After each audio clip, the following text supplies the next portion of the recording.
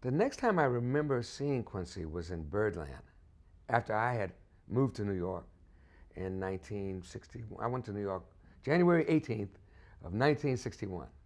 And sometime during the, the year 1961, you know, because Birdland was the home, the mecca for, for jazz, modern jazz in particular. Um, and I was always going down to Birdland to see what was happening. You know, Birdland was located on uh, 52nd and, and, Broadway. And um, one time I went down, and usually they had two groups. There would be an opening act and then the headlining group. And uh, Quincy Jones was there. So I had to see Quincy with his big band. I wanted to hear Stockholm Sweetening live, you know? And um, I got to meet him during that time. So here we are, 40 years later. I've known this guy for 40 years. You know? Just imagine me being 21 years old, being having total tunnel vision about about jazz, except for for classical music. You know, I liked classical music and jazz, and that was it. I mean, that was my world. You know, the world that I was just kind of peeking into from a professional standpoint, from a musician's standpoint, um, professionally. Um, so for me, Birdland was heaven. I mean, to play in Birdland was a big deal. That would be like playing Carnegie Hall. To, to see anybody at Birdland uh, or to work at Birdland means that you've really arrived on the jazz scene. And the jazz scene in the 60s was hot. It was innovative. It was in clubs, still primarily. Um, there weren't a lot of um, big concert venues where they had, had uh, jazz concerts. The Newport Jazz Festival was alive and well. That had started, I think, in the late 50s. Um, but um, jazz was really hot in the clubs. Clubs were always packed, full of hip people coming to see jazz. People in their 20s, people in their their 30s. You know, some teenagers. That was really the hot music.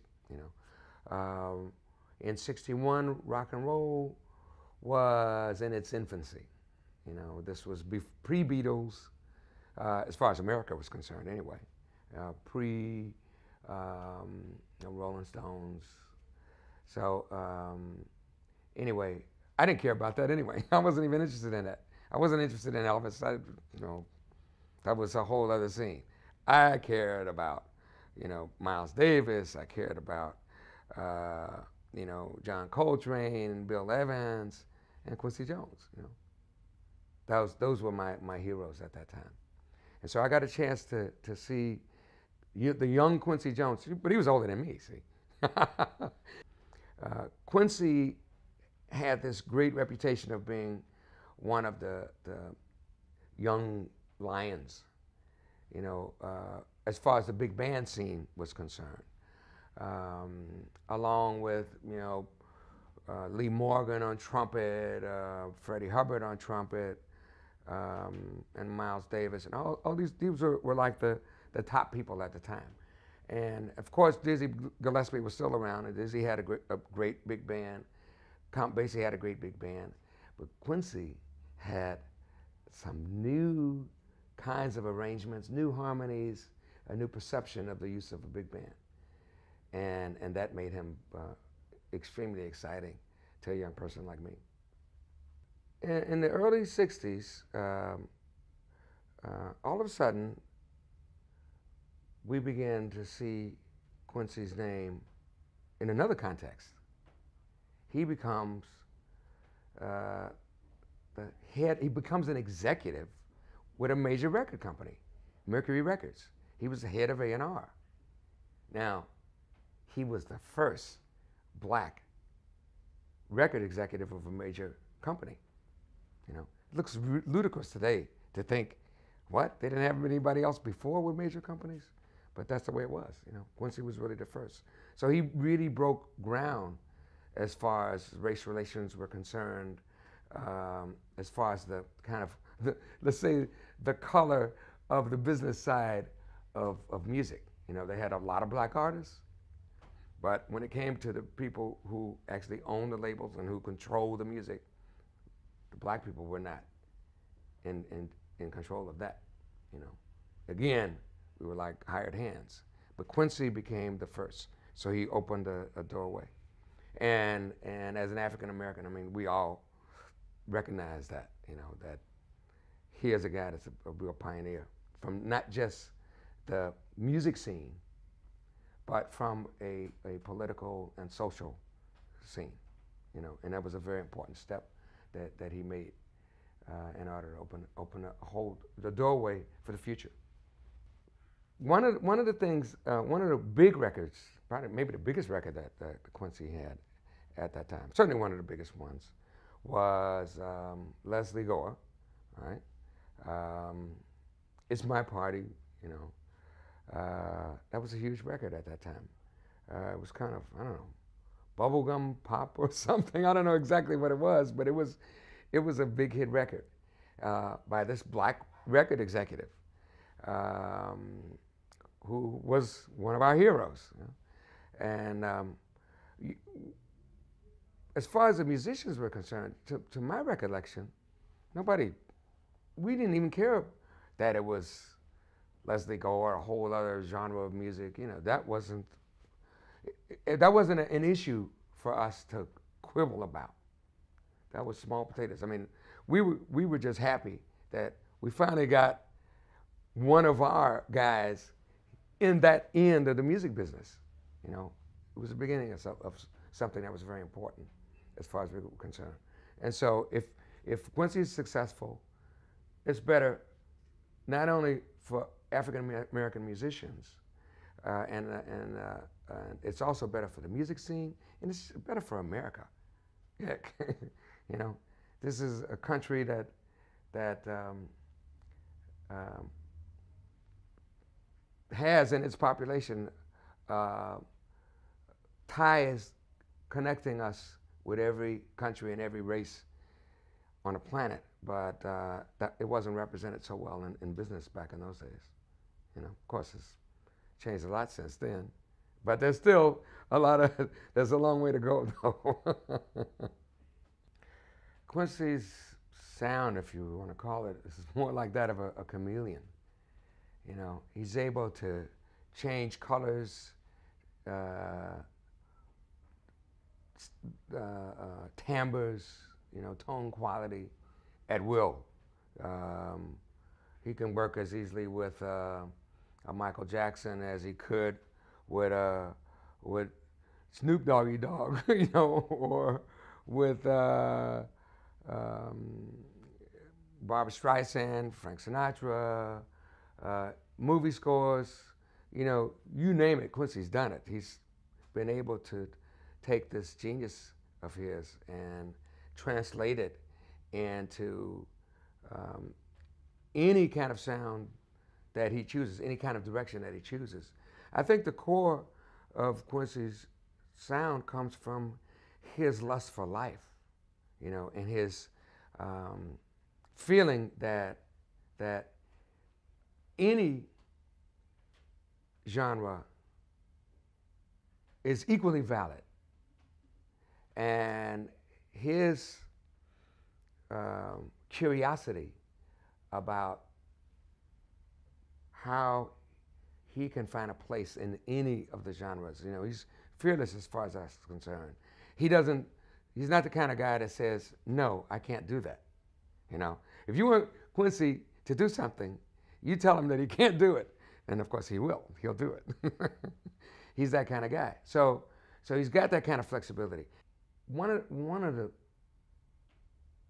great reasons why I admire Quincy Jones is because of his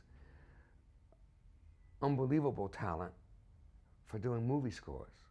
You know, some of the most beautiful music for scores was done by Quincy Jones, and, he, and um, I mean he's done, you know, dozens. No, he's done scores of music sc- of movie scores, right? And uh, uh, he's well established in that industry. Um, he helped carve out the modern concept of, of, of movie scoring. as a matter of fact, in the, that industry. And um, um, what a lot of people don't know is that um, I've done about maybe 10 movie scores myself. Um, the first one I did in 1966, it was called Blow Up. And that was because Michelangelo Antonioni, the director, was a big jazz fan, and he, and he, he actually knew my music. The second one um, uh, was called The Spook Who Sat by the Door. Ivan Dixon was the director. Um, Ivan Dixon was an actor that was on Hogan's Heroes, the black actor that was on, on that. But he was also he also directed a few movies, and he knew my music. Then after that, I did a movie called Death Wish, you know, um, and that was uh, followed by I, I, did Soldier Story. I did um, um, um, um Harlem Nights. Uh, Eddie Murphy's film. I did Around Midnight. But the, the point I want to bring up is that from that third film on, uh, it was really Quincy Jones that made it possible for me to get my foot in the door of the film scoring business. You know, because uh, either he would suggest me or directors would call him and say, "Hey, Q, what about this guy Herbie Hancock? You know, what, what's, what do you think? And Quincy would always give me an, an A rating uh, and uh, reassure them that uh, they made a, they would be making the right choice by choosing me, and, and I will always be eternally grateful to Quincy Jones for, because of his compassion for providing that doorway for me to, to enter this, this wonderful field there's this amazing footage of you and Quincy in the early 80s looking at early synthesizer technology.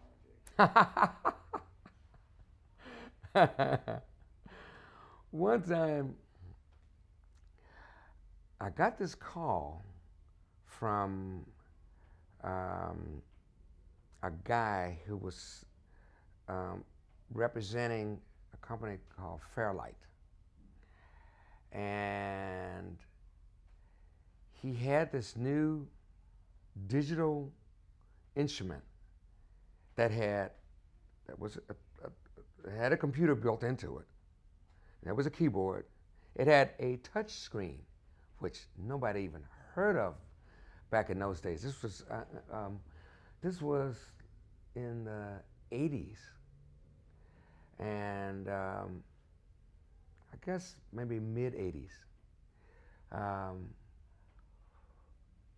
touchscreen, you could draw waveforms on it. I mean, it had these things that, you know, I hadn't even dreamed about stuff like this. And I'm into technology, you know. You know, I was, I was an engineering major for my first two years of college, so I'm like into that kind of thing. Um, so he called me up, and it was an Australian company. Anyway, um, he was coming to Los Angeles to show it to Stevie Wonder. No. I said to this guy, you got to show this to me. For, you got to show it to me. I got to see it, you know. Well, I knew that Quincy Jones was also interested in, new things. You know, he didn't want to be left out of the uh, out of the loop, you know. So I called him up, and I called up a guy named Geordie Hormel, who uh, owned a recording studio um, uh, West LA Music. So I called both of them over. And I, I, said, look, this guy's coming over to demonstrate this instrument. Anyway, they both came to see it. Um, and when the day was done, Quincy was blown away by this, this Fairlight. But he didn't want to commit himself to buying one right then, you know, we wanted to, you know, check it out and kind of have it marinate in his head, you know, figure it out for a minute. Geordie Hormel, in the meantime, pulled out uh, enough money to buy two of these things, you know. And they were expensive at the time. You know, they were $25,000 a piece, which was um, a lot of money for anything back in, in those days. You know, and, and Geordie pulls out 50 grand to pay this guy. And the guy said, no, I can't do this. But, but Quincy kind of took his time. You know, I don't, I don't know if he, I don't think he ever really bought one, but he, he used it. Uh, I think he used it in some TV shows. Um, maybe he used it in Ironsides. Um, I don't know. I'd have to find out from him, you know, exactly how he used it. But, but Q was like that. He wanted to know. He said, anything, anytime anything new comes out, give me a call, you know. So uh, he's got that kind of basic curiosity, you know.